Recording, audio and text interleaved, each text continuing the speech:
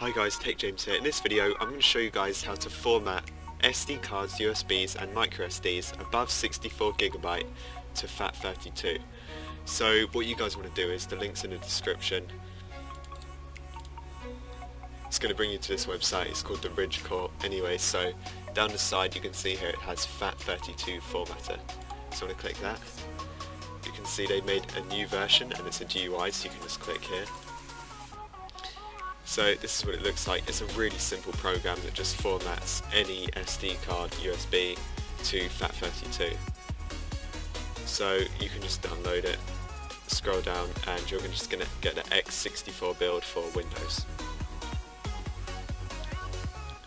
So here it is, download. Just open the file and click yes. Right, so this part you're going to want to select your SD card or whatever. So make sure that you select the right one. So you just want to open up your File Explorer and make sure you select the right letter. So here's mine F. So I'm just going to choose F. You can choose your allocation size, we'll just leave it as that. Give it a name if you want to, and then just click Start.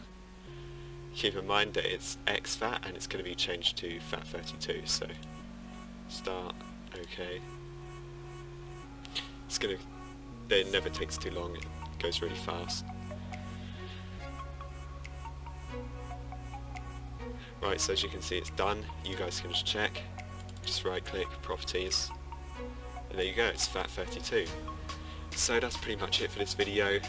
If you guys enjoyed it or found it helpful, please like and subscribe and I'll see you guys in the next one.